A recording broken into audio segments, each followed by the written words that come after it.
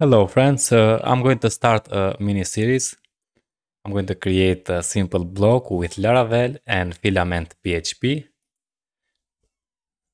So if you go to the Filament PHP documentation, you go and read about that.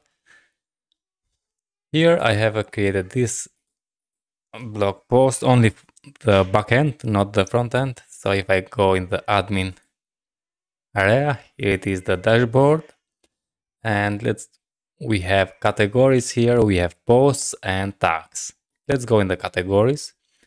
Here now I have all the categories I displayed in the table and we have only the ID, name and the slug. Here I have added the search, we can search by name. So let's search for Vue.js. Oh, sorry, Vue.js. Okay. And uh, we can go here and edit this uh, category.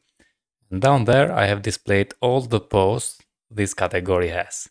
And we can uh, edit this post on the fly.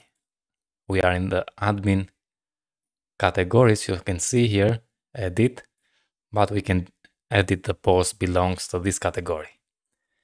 And also, we can delete the post here. Now, let's leave it for now. Let's go in the post. And here also I have added some uh, widgets for posts. This is all the posts and we have only three posts. Now here is uh, hard-coded data, but you can add what you want. Here we have the post table. I displayed the ID, title, slug, is published and the thumbnail and for thumbnail I have for the images upload I have installed the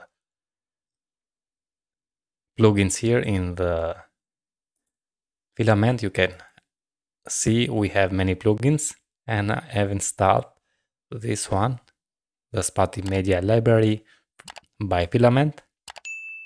And now we can upload images for the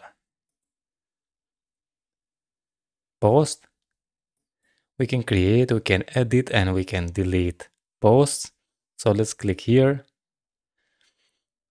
Here we can update the post, we can change the image, and also I have displayed all the tags belong to this post. And we can edit the tag, we can add more tags. So let's say here, and we can search for name. Here we have eloquent, let's click attach. Okay, and now we attach the post. We have this information here. We can detach, but we cannot delete the tags because in the post tag uh, pivot table, I have not added the on cascade delete on delete cascade. Okay. Oh, we have also the global search, and we can search for uh, categories names, uh, post titles or, or tags name. So if I search for Vue.js, you can see we have Vue.js inside the categories and also inside the post. And if I click, we go to the post, Vue.js, post and edit. And also if we go in the post, here we have the same thing, the table, the search by name. We can create a new tag we can edit a tag and here in the edit also I have displayed all the posts belongs to this uh, tag and we can edit this post but we cannot delete. The post is going to be deleted only here and in the categories we can delete the post.